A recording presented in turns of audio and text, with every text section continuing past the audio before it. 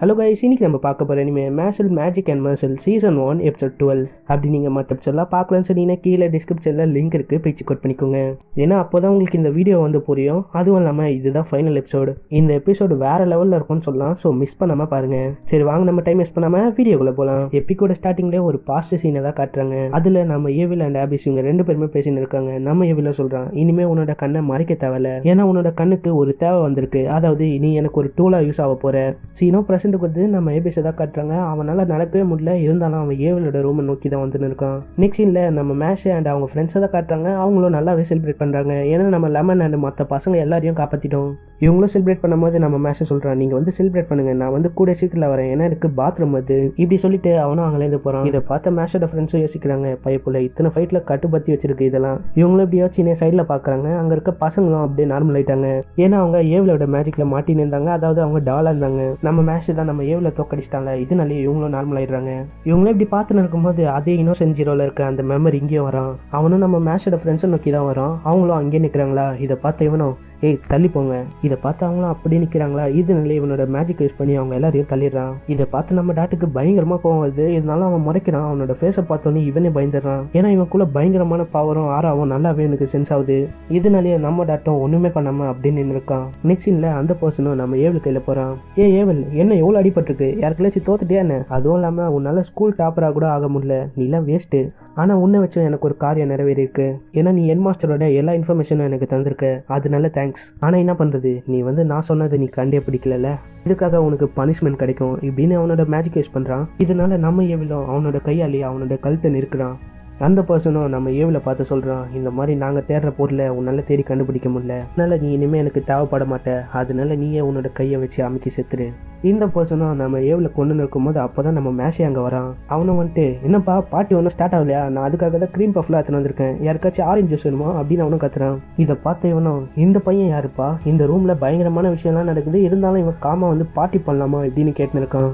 இதனாலே இவனும் ஷாக்காக பார்த்துன்னு இருக்கான் மேஷோட ஃப்ரெண்ட்ஸும் இவங்கள பார்த்துட்டு எவ்வளோ சீரியஸான விஷயத்துலேயும் இவன் பாட்டி பண்ணுமா? இப்படின்னு அவங்களும் பார்த்துன்னு இருக்காங்க திடீர்னு நம்ம மேஷோட மூக்கில் ஒரு ஈ வந்து உட்காந்துது இதனால அவனுக்கு பயங்கரமான ஒரு தும்பல் வந்தது. இதனாலே அவன் வச்சிருக்க எல்லா கிரீம் பஃப்பும் அந்த வில்ல மேலேயே பட்டுது. அதுவும் இல்லாமல் அவன் மண்டையில் வர ஏதோ ஒன்று ஆணி மாதிரி மாட்டி வச்சிருக்கான். இதனால இவன் க்ரீம் பஃப் எல்லாமே அதில் மாட்டிக்குது. இவனோட க்ரீம் பஃப் எல்லாமே இவன் மேலே விழுந்தனால இவனோட மேஜிக்கும் ரிலீஸ் ஆயிடுது. இதனாலே நம்ம இவெல்லாம் தப்பிச்சிடறான் இதெல்லாம் பார்த்த நம்ம மேஷோட ஃப்ரெண்ட்ஸும் இது என்ன கோ இன்சிடென்ட்டா இல்லை தெரிஞ்ச இவன் பண்ணானா? இப்படின்னு அவங்களும் பார்த்துன்னு இருக்காங்க. இந்த டைம்லேயும் நம்ம மேஷும் கேட்குறான் ஏய் உன்னால் அந்த க்ரீம் பஃப்லாம் எனக்கு தர முடியுமா? ஏன்னா அதெல்லாம் கஷ்டப்பட்டு எடுத்துன்னு வந்தேன். அதுவும் இல்லாமல் நானும் என் ஃப்ரெண்ட்ஸும் அதெல்லாம் சாப்பிட போகிறோம் அதனால உன்னால் தர முடியுமா? இப்படின்னு இந்த டைமில் இவன் காம கேட்குறான் இதை பார்த்து அவனும் ரொம்ப கோவமாயிடுறான். இதனாலே அங்கே இருக்க க்ரீம் பஃப் எல்லாத்தையும் கீழே போட்டுடுறான். இதை பார்த்த நம்ம மேஷம் ஏன்டா இப்படி பண்ண? அப்படின்னு அவனும் ஒரு ஷாக் ரியாக்ஷன் கொடுக்குறான். இவனும் இப்படி பார்த்துன்னு இருக்கும்போது திடீர்னு அவனோட தலையை வலிக்கிற மாதிரி ஆகுது. அவனும் சொல்கிறான் இது என்ன அது ரெசிடென்ஸா அதாவது நான் இந்த ரூமுக்கு வரும்போது எனக்கு இந்த மாதிரிலாம் ஆகலை. நாங்கள் இத்தனை நாளாக தேர்ந்தவன் நீ தானா உனக்காக தான் நாங்கள் இங்கே வந்திருக்கோம். ஆனால் எனக்கு இப்போ அது மேட்ரு இல்லை. நான் வந்த காரியத்தை ஃபஸ்ட்டு முடிக்கிறேன். எப்படின்னு அவனும் நம்ம ஏவில் கொல்லலான்னு ட்ரை பண்ணுறான் இப்படி சொல்லிட்டு அவனோட மேஜிக் யூஸ் பண்ணுறான் இதனாலேயே நம்ம ஏவலும் அப்படியே காற்றுல பறக்குறான். ஏதோ அவனை சங்கிலியால் கட்டி போட்ட மாதிரி அப்படியே அவனோட மேஜிக் வச்சு பிடிச்சி வச்சிருக்கான். இப்படி சொல்லிட்டு அவனும் அவனோட ஸ்ட்ராங்கான மேஜிக் யூஸ் பண்ணுறான் இதனால அந்த அட்டாக்கும் நம்ம ஏவல் மேலே படலான்னு வந்து திடீர்னுட்டு நம்ம ஏபிஸோ நடுவில் வந்து அவன் வாங்கிக்கிறான். இதனால நம்ம ஏவல் தப்பிச்சிடறான். ஆனால் நம்ம ஏபிஸ் வாங்கிடுறான். இதை பார்த்து நம்ம மேஷும் அங்கே வந்துடுறான். இதை பார்த்து நம்ம ஏபிஸோ ஏ மேஷ் நான் வந்து உன் கூட க்ரீம் பஃபை சாப்பிட முடியாது போல. இதை பார்த்து நம்ம மேஷும் அவனோட மேஜிக்கல் கட்சி தரான். இதை வந்து யூஸ் பண்ணு. இதனால உன்னோட ஊண்டு வந்து சீக்கிரமாக ஹீல் ஆகிடும் இதையும் அந்த வில்லன் பார்த்துன்னு தான் இருக்கான். அவனும் சொல்கிறான் என்னோட அட்டாக் வந்து அவ்வளோ பவராக இல்லை. ஏன்னா இந்த மஷ்ரூம் மேடு இவனால் தான் இப்படி ஆச்சு. ஏன்னா நான் அட்டாக் பண்ணுறதுக்கு முன்னாடி இவனும் அங்கே இருக்க ஒரு கல் எடுத்து என்னோட ஷோல்டர்லேயே அடிச்சிட்டான். இதனால என்னோட அட்டாக் கொஞ்சம் வீக் ஆயிடுச்சு. இதனால தான் இவன் உயிரோட இருக்கான். நெக்ஸ்ட் இல்லை நம்ம மேஷை தான் காட்டுறாங்க. அவனும் ரொம்பவே கோவமாக அவனை பார்த்துன்னு இருக்கான். நம்ம மேஷம் அவனோட காலை ஓங்கி தரையில் அடிக்கிறான். இதனால அங்கே இருக்க தரையும் ஓடிது. அங்கே இருக்க கல்லும் மேலே பறக்குது. இதை பார்த்து நம்ம மேஷம் அங்கே இருக்க கல் எடுத்து அந்த வில்ல தூக்கி அடிக்கிறான். என்னதான் நம்ம மேஷம் ஃபோர்ஸாக தூக்கி அடித்தாலும் அவன் அந்த கல்லை பிடிச்சிடறான். இதை பார்த்து அங்கே இருக்க மேஷோட ஃப்ரெண்ட்ஸ் எல்லாருமே ஆச்சரியமாக பார்த்துன்னு இருக்காங்க. அந்த வில்லனும் திடீர்னு அந்த கல்லை நக்குறான். அவனும் நக்கிட்டு சொல்கிறான் உன்னை பார்த்தா நீ வந்து ஸ்ட்ராங்காக தெரியல அதனால நான் உன்னை கொல்ல டைம் எடுக்க மாட்டேன். உன்னை கூடிய சீக்கிரத்தில் நான் கொன்னுருவேன். இதை பார்த்த நம்ம மேஷம் நீ கொல்றது சரிதான் ஆனால் எதுக்கு அந்த கல்லை நக்குற? சரி ஏதோ ஒன்று பண்ணு. நான் வந்து ஏபிசா ஹாஸ்பிட்டலுக்கு எடுத்துன்னு போய் ஆகணும். அதே மாரி நீ என்னை தடுக்க பார்த்தா அவ்வளோதான் நான் அடிச்சே உனக்கு கொன்றுவேன். இதை பார்த்து அந்த பர்சனும் சிச்சன் இருக்கான். அவனும் சொல்கிறான் ஹேய் நான் உனக்கு முப்பது நிமிஷம் டைம் தரேன். அந்த முப்பது நிமிஷத்துக்குள்ளே என்னை தோக்கடி. ஏன்னா முப்பது நிமிஷத்துக்கு மேலே தான் அவனோட ஹெல்த் கண்டிஷன் ரொம்பவே வீக் ஆகும். நீ முப்பது நிமிஷம் மேலே என் கூட சண்டை போட்டுனா அவன் இங்கேயே வந்து போயிடுவான். இதை கேட்ட நம்ம மேஷம் அப்படியா? சரி நான் வந்து உன் கூட சண்டை போடுறேன். இப்படி சொன்ன அத்த செகண்டே அவனும் அவனோட பவர் யூஸ் பண்ணுறான் இதனால நம்ம மேஷ் மேலே தான் அந்த அட்டாக்லாம் வந்து இவனும் தடுக்கும் போது சில அட்டாக்லாம் இவன் மேலே பார்த்து இதை பார்த்து அந்த வில்லனும். இப்படிலாம் பண்ணால் வேலைக்கு ஆகுது. இப்படின்னு அவனோட அட்டாக் ஸ்பீடை இன்க்ரீஸ் பண்ணிடுறான். இதனால நம்ம மேட்ச்க்கே பயங்கரமாக அடிப்பது இதை பார்த்து அவனும் ஏய் என்னப்பா ஏதோ வாய் பேச்செல்லாம் விட்ட ஏதோ என்ன அழிச்சிருவேன் அப்படி இப்படின்னு. ஆனால் அதெல்லாம் வாய் பேச்சு மாதிரி தான் எனக்கு தெரியுது. இதெல்லாம் பார்க்குற நம்ம எவ்வளோ சொல்கிறான் உன்னால் ஜெயிக்க முடியாது மாஷ் ஏன்னா உனக்கும் அவனுக்கும் நிறைய டிஃப்ரென்ஸ் இருக்குது நீ தரையில் இருக்க அவன் வானத்தில் இருக்கான். எங்கள் அம்மா வந்து சொல்லியிருக்காங்க சில பேரால் தான் லக்கியாக அவங்களுக்கு எல்லாமே கிடைக்கிற மாதிரி பிறப்பாங்க. அதே மாதிரி பார்த்தா இவனும் அந்த வகையில் வருவான்னு நினைக்கிறேன். சீனோ பிரசண்ட்டுக்கு வந்து நம்ம மேஷம் அந்த அட்டாக் எல்லாத்தையும் தத்துன்னு இருக்கான். ஏன்னா பின்னாடியே ஆபிஸ் அண்ட் ஏவில் இருக்காங்க. இவன் வண்டி தடுக்கலன்னா அவ்வளோதான் அவங்க மேலே தான் படம். இவன் தடுக்கிறத பார்த்த நம்ம ஏவிலும் ஏ மேஷ் இது வந்து இம்பாசிபிள் உன்னால் ஜெயிக்க முடியாது. அதனால விட்டுரு. ஏவில் சொல்கிறான் இந்த மாதிரி ஆபிஸ் வந்து பைத்தியம் தான் நினைக்கிறேன். ஏன்னா அவன் என்ன காப்பாத்தணும்னு பேர்ல அவன் நடுவில் வந்து மாட்டிக்கினா. இதை கேட்டு நம்ம மேஷம் அப்படிலாம் இல்லை. மேஷம் சொல்கிறான் நான் நினைக்கிறேன் ஆபிஸ் வந்து சந்தோஷமாக தான் நினைக்கிறேன். ஆனால் நம்ம ஆபிஸ் இது இருக்க தனியாக தான் இருந்தான். ஆனால் நீ வந்ததுலேருந்து அவன் ரொம்ப சந்தோஷமா இருந்தான். அவன் இதனால தான் அவன் நடுவிலே வந்தானே சொல்ல போனா நானும் என்ன இந்த மாதிரி ஒரு தனியான ஒரு சுச்சுவேஷனில் என்னை வச்சு பார்த்துருக்கேன். இது நல்ல ஆபிஸ்க்கு எப்படி ஃபீல் ஆகும்னு எனக்கு நல்லாவே தெரியும்.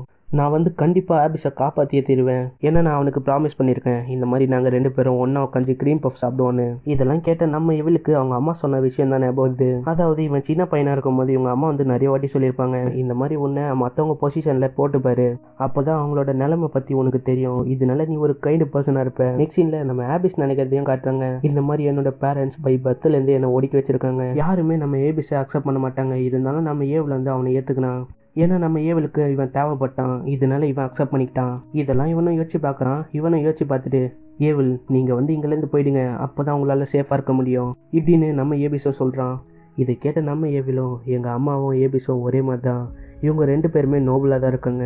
இப்படின்னு இவனும் யோசிச்சு பார்க்குறான். இந்த சைடு நம்ம மேஷை தான் காட்டுறாங்க. அவனும் அந்த அட்டாக்கெல்லாம் தத்துன்னு இருக்கான். இதை பார்த்து அந்த வில்லனும் இரிட்டேட் ஆயிடுறான். இதனாலேயே அவனும் பயங்கரமான அட்டாக்லாம் பண்ண ஸ்டார்ட் பண்ணுறான் இவன் அட்டாக் பண்ணனால நம்ம மேஷ் மேலே சில அடிப்பது இதை பார்த்து அவனும் சொல்கிறான் என்னப்பா உன் கையில் எவ்வளோ தான் பவரா இதுக்கு மேலே உன்னால் போட்டி போட முடியாது போல.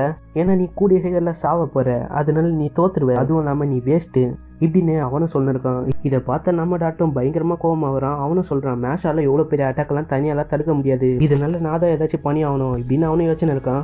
இருந்தாலும் அவனால ஒன்றுமே பண்ண முடியல. ஏன்னா இவனுக்கு பின்னாடி இவங்க ஃப்ரெண்ட்ஸ் இருக்காங்க. அப்படி இவன் வந்து இங்கேருந்து போனால் அவ்வளோதான் அவன் வந்து இவங்க ஃப்ரெண்ட்ஸை தாக்கிடுவான். இதனாலே நம்ம டாட்டு ஒன்றுமே பண்ணாமல் இங்கே நிற்கிறான் இந்த சைடு அந்த பர்சனும் ஹை லெவல் அட்டாக்லாம் பண்ண ஸ்டார்ட் பண்ணுறான் இதனாலேயே நம்ம டாக்டர் ரொம்பவே கோவமாயிடுறான். ஏன்னா அவனால் ஒன்றுமே பண்ண முடியல. இந்த டைமிங்கில் கரெக்டாக அங்கே ஒரு டால் வருது. பார்த்தா டால் மேலே எல்லா அட்டாக்கும் பத்து இப்போ தான் நம்மளுக்கு தெரிஞ்சது நம்ம ஏவல் தான் அந்த பப்பட்டை யூஸ் பண்ணி நம்ம மேஷை காப்பாற்றிட்டான் இதை பார்த்து அந்த வில்லனும் கோவமாயிடுறான். அவனும் கேட்குறான் ஹே ஏவில் நீ என்ன பண்ணுற இதை கேட்ட நாம எவிலும் எனக்கு எது சரின்னு பார்த்தோ அதை தான் நான் பண்ணுறேன் அப்படியாப்பா நான் என்னோட பவரை காட்டுறேன். இப்படின்னு அவனோட பவரை யூஸ் பண்ணி அந்த டால் மேலே அட்டாக் பண்ணுறான் இதனால அந்த டாலும் உடஞ்சி போயிடுது.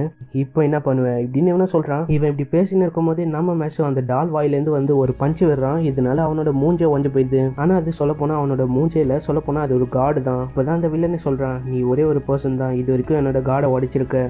ஆமாம் நீ எந்த விதமான மேஜிக் யூஸ் பண்ணுற அதை சொல்லு. இதை கேட்டு நம்ம மேஷம் நம்ம தான் மேஜிக் யூஸ் பண்ணலையா? இவன் எதுக்கு மேஜிக் பவர்லாம் கேட்குறான் இதனாலேயே நம்ம மேஷம் நான் யூஸ் பண்ணுற மேஜிக் வந்து பவர் இப்படின்னு அவனும் சொல்லிடுறான். இதை கேட்ட அந்த வில்லனும் ஹேய் நீ சொல்கிற மாதிரி பார்த்தா அந்த மாதிரி ஒரு மேஜிக்கே இல்லை.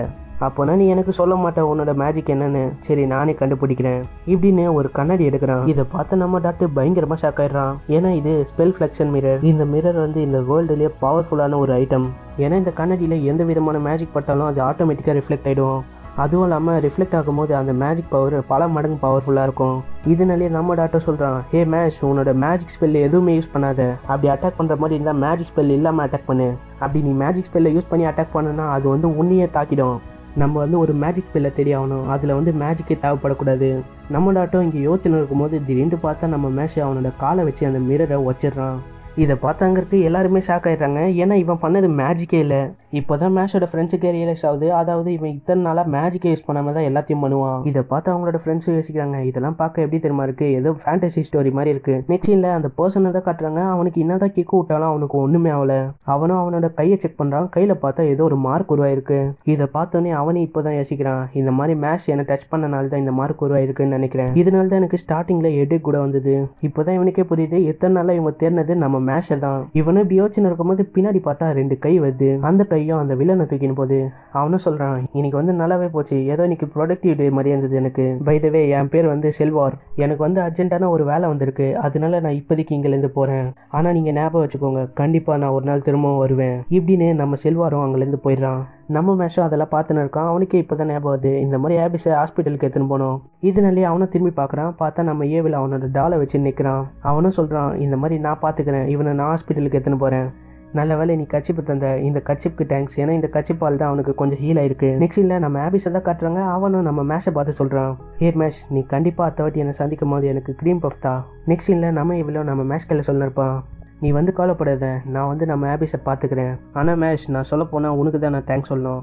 ஏன்னா நீ எனக்கு மிகப்பெரிய ஹெல்ப் பண்ணியிருக்க இதனால நான் ஃப்யூச்சரில் கண்டிப்பாக உனக்கு ஹெல்ப் பண்ணுவேன். இப்படி சொல்லிட்டு நம்ம ஏவிலும் அவங்களேருந்து போயிடுறான். நெக்ஸ்ட் சீனில் நம்ம மேஷோட ஃப்ரெண்ட்ஸை தான் காட்டுறாங்க. அவங்களும் கேட்குறாங்க ஏ மேஷ் உனக்கு வந்து உண்மையாக மேஜிக்லாம் வராதா? ஏன்னா உனக்கு உண்மையாக மேஜிக் வரலன்னா உன்னை இந்த ஸ்கூலை விட்டு தூக்கினாலும் தூக்கிடுவாங்க. இதை கேட்ட நம்ம மேஷை கொஞ்சம் பயந்துறான் அவனும் சொல்கிறான் இல்லை இல்லை என்னால் மேஜிக்லாம் யூஸ் பண்ண முடியும். மேஷ் சொல்கிறதுலே தெரிஞ்சு இவனுக்கு மேஜிக்கை யூஸ் பண்ண தெரியாதுன்னு இவங்க ஃப்ரெண்ட்ஸும் கண்டுபிடிச்சிடுறாங்க. இதனாலே அவங்கள டிசைட் பண்ணுறாங்க இந்த மாதிரி மேஷுக்கு மேஜிக் தெரியாதுன்னு நம்ம யாருக்கையிலே சொல்லக்கூடாது. இப்படி போச்சுன்னா யாராலையும் கண்டுபிடிக்க முடியாது. இப்படியே இவங்களும் பேசின்னு இருக்கும்போது அங்கே இருக்க ஒரு பையனை வந்துட்டு ஏய் நீங்கள் சொன்னது எல்லாத்தையும் நான் கேட்டுட்டேன்.